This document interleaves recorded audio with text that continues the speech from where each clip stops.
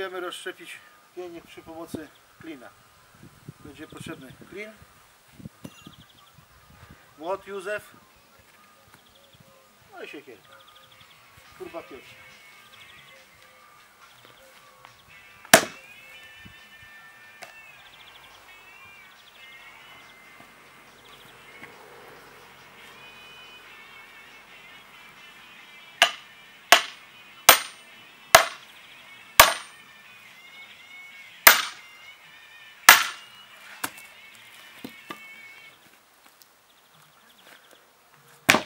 Ale widać już jak pęka.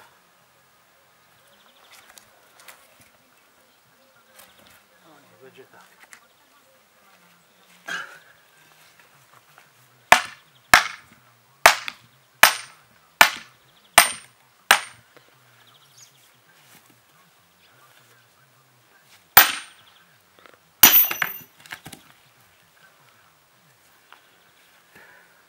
Klin się sprawdza do grubych belek.